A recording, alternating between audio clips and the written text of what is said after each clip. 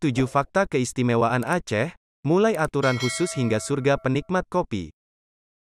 1. Masjid Raya Baiturrahman di Banda Aceh, Masjid Raya Baiturrahman ini menjadi salah satu terindah di Indonesia. Masjid yang terletak di Jalan Mojam nomor 1, Kepulauan Baru, Kecamatan Baiturrahman, Kota Banda Aceh, Aceh.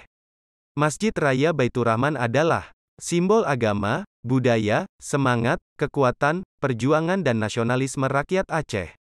Masjid ini adalah landmark Banda Aceh sejak era Kesultanan Aceh dan selamat dari bencana tsunami pada tanggal 26 Desember tahun 2004 silam.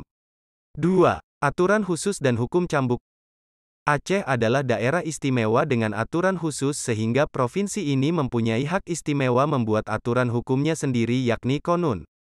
Provinsi Aceh membuat aturan hukum yang berdasarkan dari hukum Islam. Dengan landasan hukum ini, Aceh memberlakukan hukum